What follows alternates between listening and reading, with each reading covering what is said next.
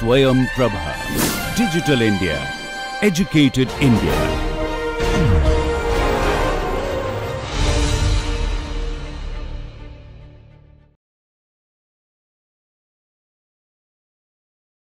uh, first and foremost is the sort of the social organizations or the institutions and second is the ideological factors which in a way has conditioned the humans. Now, how does this idea of uh, dominating nature emerges uh, in human society? Perhaps the first and foremost is uh, which is developed from uh, the social structure. How then this uh, the social eventually structure around status group, class formations and cultural phenomena emerges from the biological. Now, it is interesting to see that uh, from the works of uh, Marx or Marxism, uh, why is it that as a result of the industrial uh, in the industrial society or uh, in the capitalist society, why is that there is a emerging uh, classes that is the have and the have nots.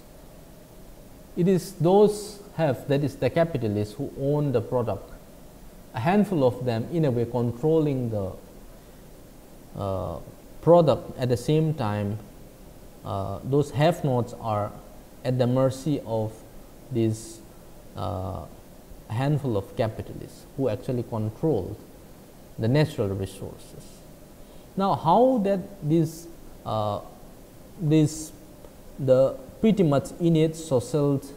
uh, structure leading to the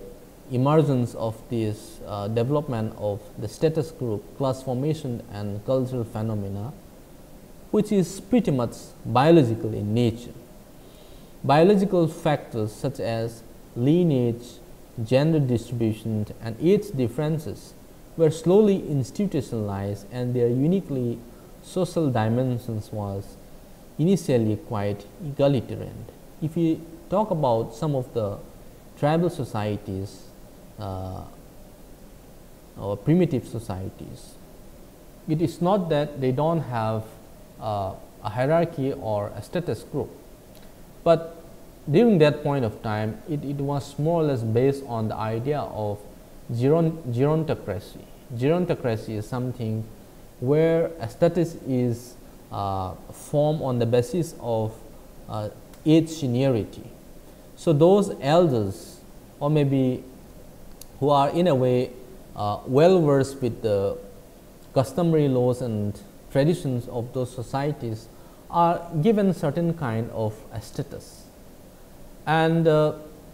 say for example, in many of tribal societies they have their own chief, which again is not authoritarian, but rather a custodian and who in a way look after the welfare of those communities. Now, therefore, this idea of communitarianism and egalitarianism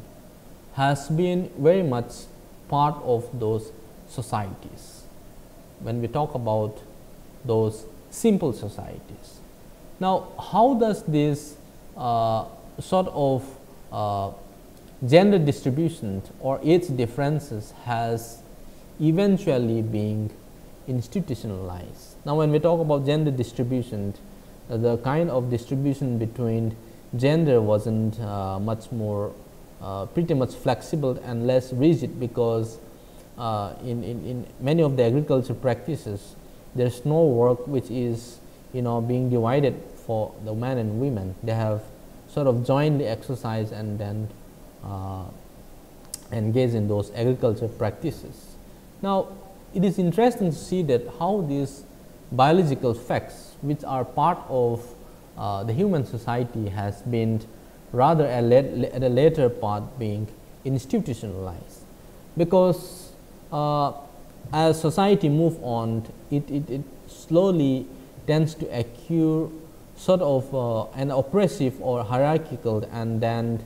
an ex exploited, exploitative class form that is uh, so called social institutions were slowly reframed, reworked,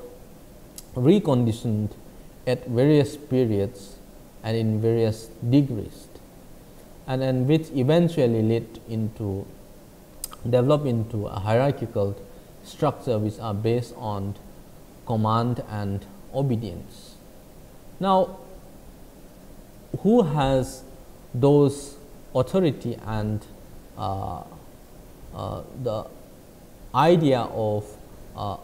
dominating power. Now, uh, to what extent uh, those people who are in a way uh,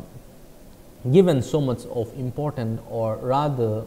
tends to occupy an important category in that social structure. Now,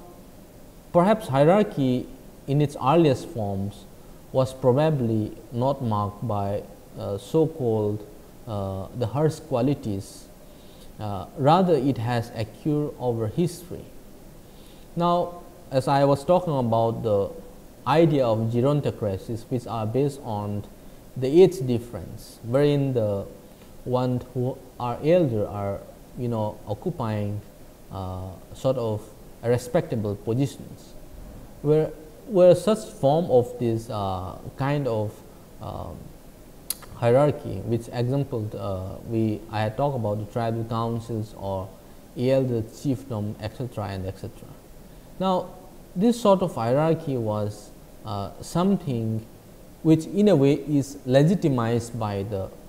uh, communities, because uh, it is not that they demand certain kind of power and obedience over their subjects, but rather it is through their sort of uh, ability and then uh, as a result of their uh, sort of noble deeds and uh, be able to be a custodian of uh, those communities that they were able to you know earn such kind of authority or rather obedience from the communities. Now, how does this idea of uh, gender differences emerges? Now, this social domination again is uh, has origin from uh, how the human uh, the male members has uh, uh, dominating tendencies on the females. Now, if you look at the simple technology when the, during the agriculture practices where uh, uh, where a cattle drawn plow is being used. It, it slowly uh, tends to you know invade or uh, sort of attack the uh, domestic space of a female that is uh, who had used a simple digging stick and the earlier economic predominance in the continent continuities of life is thereby diluted. Now, it, it, it is because uh, we can from the essentialist perspective if we talk about the biological factors it is it is because of the structure and the strength and the sturdiness of uh, the male that it tends to slowly uh, has and uh, supersede the not only the space, but also the controlled and dominance on female. Male dominance in a way becomes extremely active and it ultimately you know produces a world that is managed only by the male elites who dominate not only women but also other men. Now, this sort of hierarchy and idea of domination emerges from uh, sort of the family wherein uh, gender differences happens to sort of emerges. I'll detail about this uh, idea of gender differentiation and uh, male domination when we talk about uh, uh, when we lecture upon the ecofeminism and then I'm sure you'll have much more clear picture and ideas. Now, why then this hierarchy emerges and uh, why is it that it, it is sort of so much uh, distinct and evident as time passed by. Perhaps we can give uh, uh, certain factors like example of uh, the increasing population, natural disaster and also certain technological changes that in a way privilege the male activities uh, which, which normally uh, I mean the involved in the activities of hunting and caring for animals over the horticultural functions of female and the growth of civil society, the spread of warfare. So, in a way the development or this emergence of the science and technology is in a way seen by many feminists as something which is uh, against their interest because for, for example, uh, if we talk about the technology, the big tractors and rollers in a way uh, privilege and, and uh, the male members rather the female in terms of you know utilizing them. Therefore, the male members over a period of time has tends to occupy much more important uh, space uh, as, as many of the you know the modern technologies are uh, sort of favoring them. Therefore, they are in a better positions and this sort of hierarchy not just between uh, male and female, but also among other subjects that is the man over man and, and from one cultural group to the other group and from one society to other society, from one nation to the other nations, city, state, so on and so forth. Therefore, this hierarchy has emerges as society develop and nation develop and uh, this so, so is the uh, demarcations which uh, sort of develop as a result of those factors. How then this idea of dominating nature emerges? Now, uh, Bookchin has said that uh, nature in a broad sense uh, is a biotic uh, environment which humans uh, take the simple things and which, which they need for survival, modes of sustenance and often which has no meaning of the pre-literate peoples even when they celebrate the animistic rituals and view the world around them as an excess of life that is which is more or less based on mutual dependence and sort of uh, the interrelationship between the biotic and human was pretty much uh, harmonious uh, in the first form of uh, maybe perhaps the pre-literate society. Now, how then this hierarchy emerges? With the rise of hierarchy, uh, human domination uh, tends to, you know, this ideology seems to be planted uh, for a belief that nature not only exists as a world apart, but that it is hierarchically organized and can be dominated. Now, in a way this civilizational modes of thinking or notion of uh, domination emerges sort of uh, the hierarchy between human and nature is developed. Now, for instance, in a very simple anthropological sense, if you cite an example like, like for instance magic, which in a way uh, reveals this shift uh, and, and will, will sort of simplifies uh, doubt in some way. Now, the early form of these magic practices tends to view nature as uh, you know a world apart. And, and, and it, its worldview tended to be you know guided by how the practitioner that is the one who practiced magic essentially pleaded with the chief spirit. That is some sort of spirituality uh, still guided uh, the human in the naturalistic surround, surrounding. Now, the one who practiced this magic in, in its earliest form tends to plead to the chief spirit or the game to coax an animal or sort of a direction of an arrow or a spear when one has to go for sort of a hunt or hunting animals. later this magic becomes almost entirely instrumental that is the game is coerced by magical techniques to become the hunter's prey. Now, there is a dramatic shift in even the practice of this ritual. How human tends to you know uh, make full use of the kind of practices one does to satisfy one's needs. The first one is sort of seeking a permission or praying to the spirit, but in the second part, in the later part, it, it, tends to be guided by this uh, idea of instrumentalism. The game is sort of coerced by medical, magical tactics, techniques to become the hunter's prey. So, it, in a way it is being pushed and forced to satisfy need that is so that they are able to accomplish their desire and mission in a way. Now, interestingly while the earliest form of magic which we had discussed may be regarded as the practices of a generally uh, non-hierarchical and egalitarian community and, and, and the later forms of uh, animistic belief betray a more or less hierarchical view of the natural world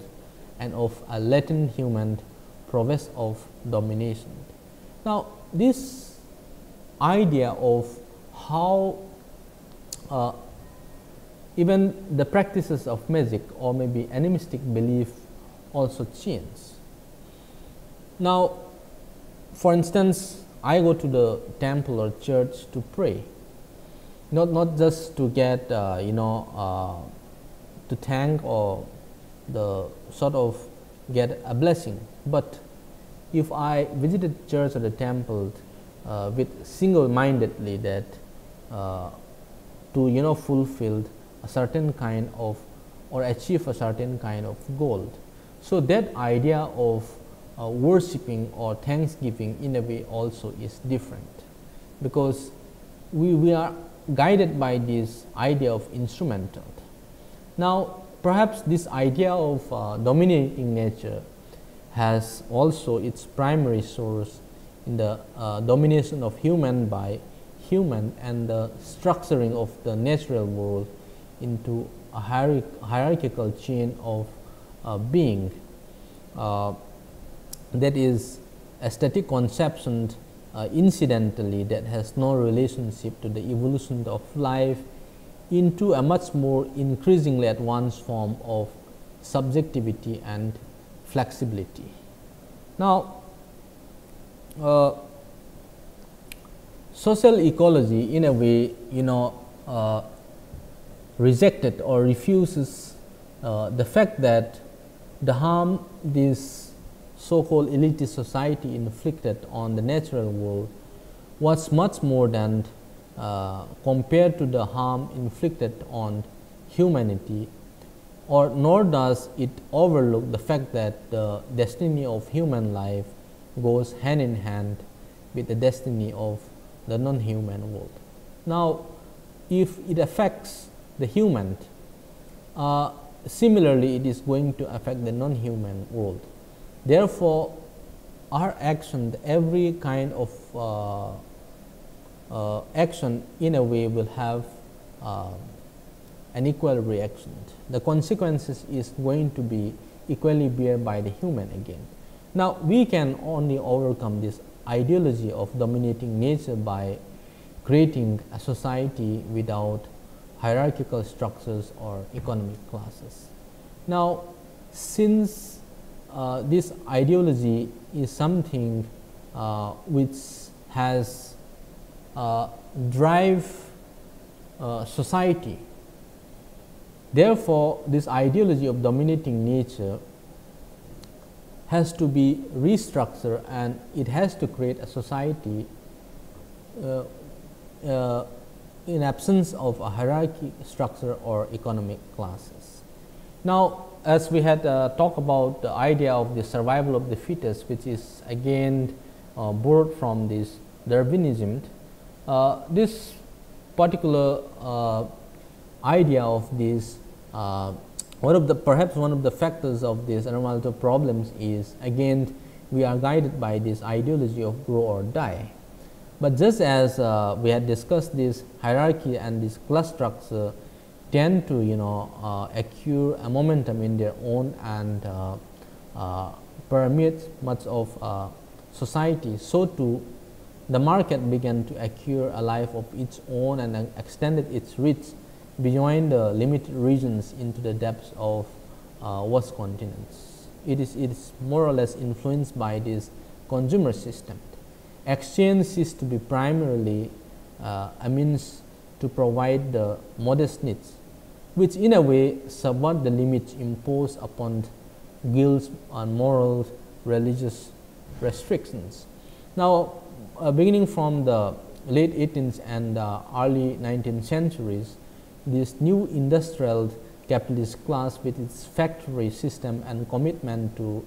limitless expansion began to sort of colonize the entire world and finally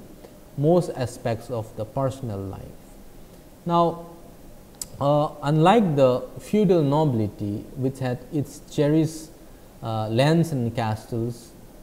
the bourgeois that is the industrialist or the capitalist today had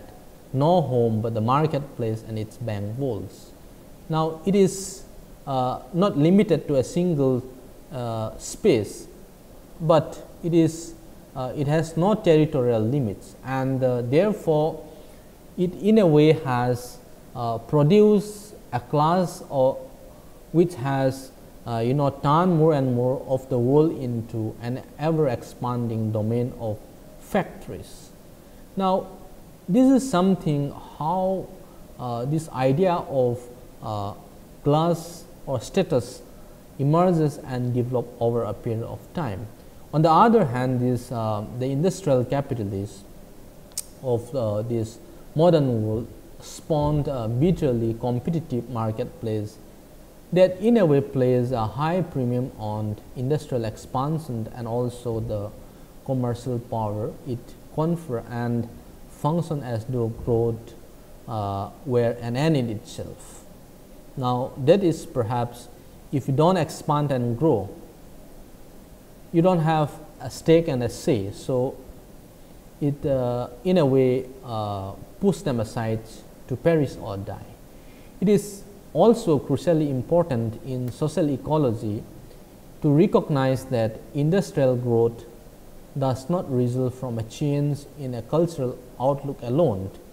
and least of all from the impact of scientific rationality on society. Rather, uh, apart from this, uh,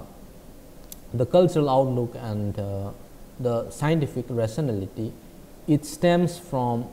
uh, the harshly objective factors which are churned up by the expansion of the market itself, factors that are uh, strongly impervious to moral considerations and efforts at ethical persuasions. Now, therefore, the key to this law of life that is to survival, life to survival is expansion and greater profit to be invested in still further expansion.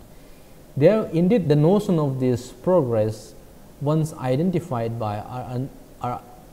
ancestor as faith in the evolution of greater human cooperation and care is now identified with economic growth. So, those idea of egalitarian community communitarian feelings are being brushed aside and replaces by uh, the individual interest and uh, uh, which is guided again by the economic orientations and profit. Now, the point social ecology uh, which is strongly advocated by Murray Bookchin emphasizes uh, is that moral and spiritual change is meaningless or unnecessary, but that modern capitalism is structurally immoral and hence impervious to any moral appeals. Now, which in a way is a bit fitting reply to the deep ecology, uh, what uh, uh, Bookchin talks about is not simply uh, spiritual change is inadequate. The maxims like for instance uh, business is business explicitly tends to portray that ethical, religious, psychological and uh, emotional factors have absolutely no place in this impersonal world of production, profit and growth that is the so called materialistic world. It is grossly therefore misleading to think that we can divest this brutal, brutal, brutally materialistic and uh, indeed uh, mechanistic world of its objective character that we can vaporize its hard facts rather than transforming it. Now, Bookchin claims that industrial growth is not the result of a change in a cultural outlook alone, nor is, is it due to the impact of scientific rationality. Rather, it stems from the principle of the uh, market itself, that is, the demand to grow or die, or uh, survival of the fittest in the simplest term. A society based on grow or die as uh, its all pervasive imperative must necessarily uh, have a devastating ecological impact given the present context that is uh, generated by this market competition, it would mean little or nothing if the present day population were reduced to a fraction of what it is today. Now, the ever expanding of uh, market system as we talk about the market expansion that has its roots in the one of uh, history's most fundamental social transformation that is the elaboration of hierarchy and class into a system of distribution based on exchange rather than complementarity and mutual aid. Now, therefore, this idea of cooperation and communitarian feelings are being replaced by this individualistic and materialistic notion of ideology. Now, therefore, it is important to have an ecological society uh, which is perhaps uh, not based on, but also which has an appeal not only for uh, uh, uh moral regeneration, but also and above all for a social reconstruction along ecological line because uh, social ecology believes that the human and the biotic non-human in a way uh, share the evolutionary flows. Therefore, the social reconstruction has to be uh, practices are inculcated along the ecological lines. Although always mindful of the need for a spiritual change, social ecology in a way seeks to redress the ecological abuses or uh, impacts or consequences it has sort of uh, cater the past few centuries that society has inflicted on the natural uh, or the natural world by going to the structural as well as the subjective sources of notions like the domination of nature. Therefore, it is important to not just uh, talk about the symptoms of the problems, but it is equally important to unearth or find out the causes of those problems and perhaps uh, one of the most important uh, causes of the problem is how this idea of domination of nature emerges. So, one has to begin with uh, in the starting point and then sort of a social reconstruction is needed. Therefore, social ecology challenges the entire system of this domination itself and uh, attempts to seek uh, by eliminating this uh, hierarchical and class edifice that has sort of imposed itself on humanity and defined the relationship between non-human and human nature. So, this redefinition or uh, re-examination of the human and non-human nature is important and one has to situate and relocate uh, the human positions in relationship to the non-human that is the biotic. Now, social ecology therefore, uh, advances an ethics of uh, complementarity in which human should play a supportive role in perpetuating the integrity of the biosphere as potentially at least uh, sort of the most uh, conscious products of natural evolution. And uh, indeed, humans are seen to you know have a moral responsibility to function creatively in the unfolding of that evolution. And social ecology therefore stresses the need for embodying its ethics of complementarity in a palpable social institution that would perhaps give an active meaning to its goal of wholeness that is the holistic uh, unity of uh, all the organs and the biotic system and of human involvement as conscious and natural agents in the interplay of species. So, therefore, social ecology strongly talks about the moral responsibility of maintaining a sort of or playing the role of a complementarity. Now, in conclusion, we can uh, sort of uh, sum up our discussion by saying that uh, in place of uh, the existing hierarchical and class system,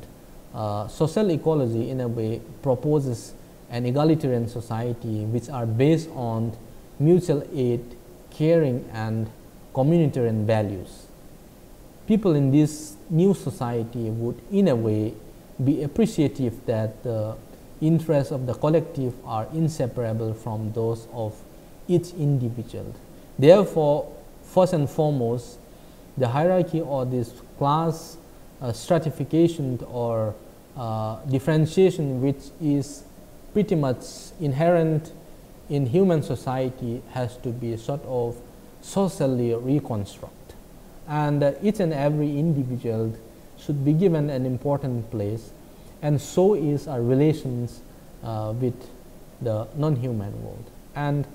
property in a way would be shared and ideally belong to the community as a whole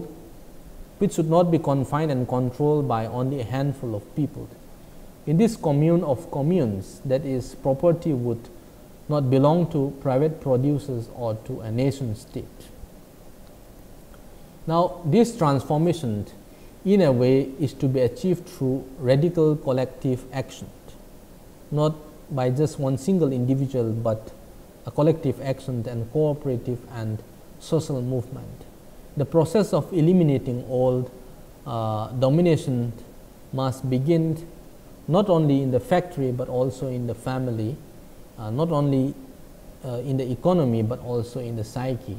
and not only in the material conditions of life, but also in the spiritual ones. This is something uh, has talked about, uh, which I, which is an excerpt from the open letter to the ecological movement, ecology movement. Uh, now, therefore, in a way it tends to you know espouse a social revolution and uh, uh, in a way is trying to espouse a socialist ideology and, and wherein every human or individual share you know or have uh, a stake or a say in every you know uh, minute details uh, when it comes to you know sharing the relationship or or in a way investing on the natural resource. It, it should not be something which is dictated and guided by the elitist controlled, but rather the property, the natural resources is not to be seen as something which is from the interest of those elite as uh, the idea of domination and accumulation of the material wealth, but as a property which is jointly or owned by the community.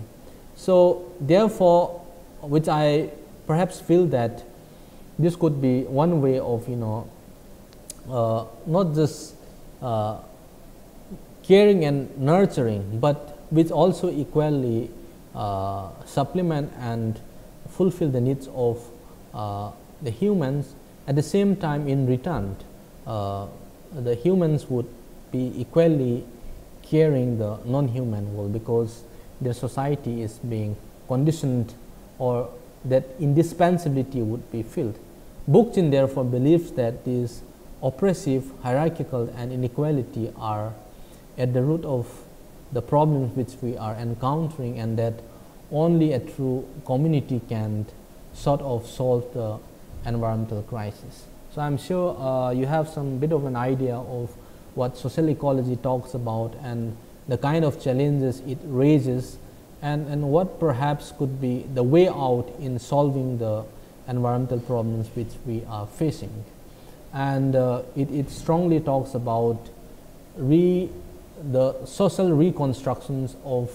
trying to imbibe those feelings of communitarian and egalitarian ideas which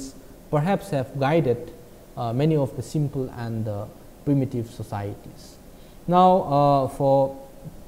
further understanding on the social ecology, you can refer some of the readings and uh, which of course will be uploaded in the uh, site. Thank you.